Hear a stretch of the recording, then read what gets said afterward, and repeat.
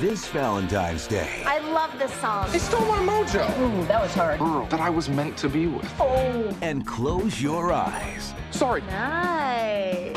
June and I don't get much action, so we take what we can get. Now, what is it that, that makes Paris hot in this movie? Oh, well, you know, the thing I love about what she did with her character, Cristabel, I think she brought a lot of her real personality and her, you know, her real life to it, which is what every great actress does. Um, but it's a side of her that I think a lot of people don't get to see. It's a really genuine, very sweet, um, very loyal to her friends. Um, so I think she did a, a beautiful job. So you guys have been friends for a while. Is this what you decided to do this project because of that, or did you become friends as a result?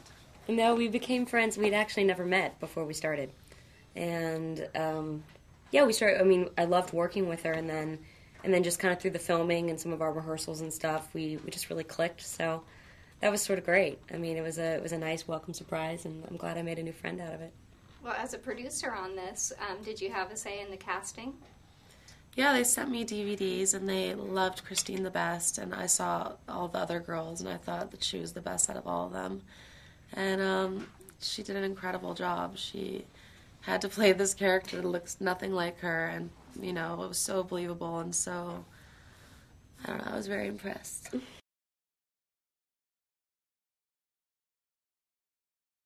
Paris Hilton, Christine Lakin, the Hottie and the Nottie.